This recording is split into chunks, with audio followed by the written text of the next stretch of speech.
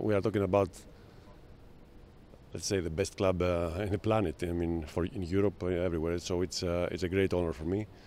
I feel excited to, to be a part of this uh, tremendous club. So that's why.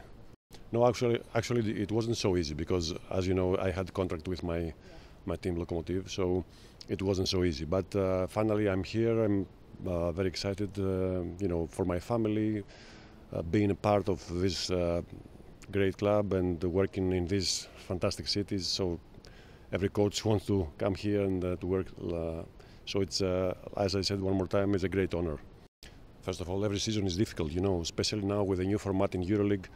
Many games, sometimes three, three games in a week per week. So it's going to be difficult for every team, not only for Barcelona. Uh, I would like please to mention that uh, I have a, a, lot of respect uh, for Xavi Pascual. So it's a great honor for me to come in, this uh, and sitting in this bench uh, right after him. He did a great job for many years in Barcelona. So I would like to mention it because uh, I'm a fan of Xavi. First of all, second, um, of course, we have a lot of work to do here. Uh, Barcelona is a, is a team that, uh, first of all, has to play attractive basketball uh, to get titles, to win titles, and to develop new players. So there are three parts very important for this club.